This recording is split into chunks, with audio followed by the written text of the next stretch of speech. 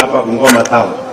Nimekwama sasa, nimekwamua na nimeleta pesa hapa 1.2 billion ya last mile connectivity ya stima, watu elfu ishirini na tano Bungoma, nataka wawakishe taa nyumbani kwao. Tuendelee ama tusiendelee? Si namna hiyo? Na nimesema watoto wa Kenya wote wasome. Last year niliajiri waalimu elfu hamsini na sita.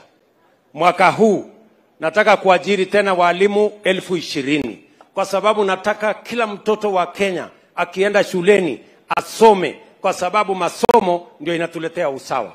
Mtoto wa tajiri na maskini wanakuwa sawa wakisoma, ama namna gani? Tunaelewana?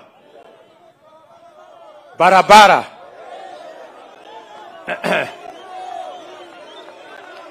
ngoja ngoja, we wewe wewe unaniharakisha, umeambiwa niko na haraka ya kwenda wapi? na, na, na, na, na nikiamua kulala hapa Bungoma utadu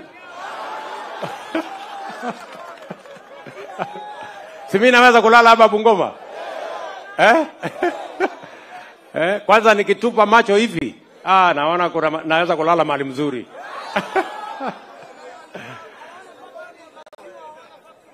si tunaelewana?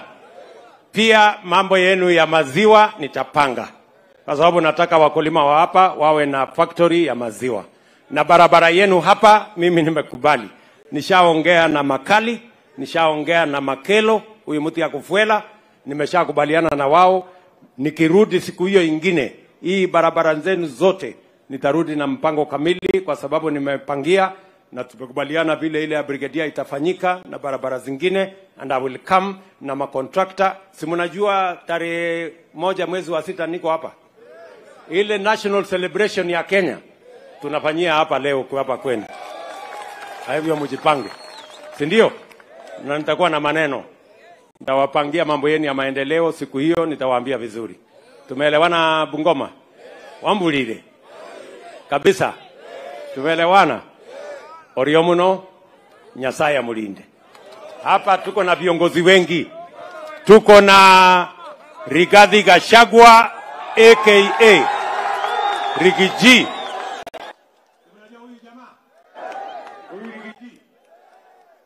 the President. Ule papa wa Roma. Si mnamjua? Manweta si mnajua yeye siku hizi ndio mtu namba tatu Kenya hii spika eh? Ule jamaa anatosha ama atoshi?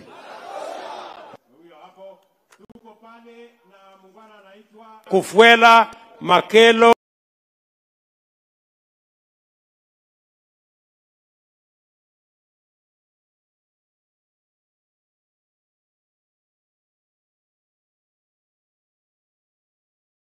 Kenneth Lusaka